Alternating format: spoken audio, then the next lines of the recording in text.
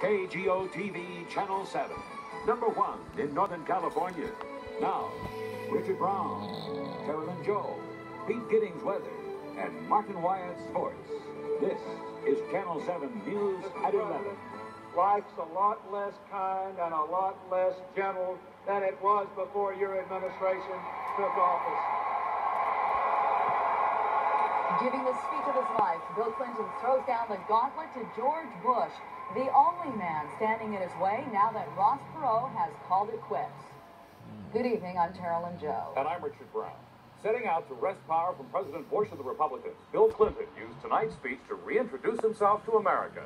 He talked of his difficult childhood, his family, and his hopes for America's future, saying the Democrats are the party of change, the party of hope.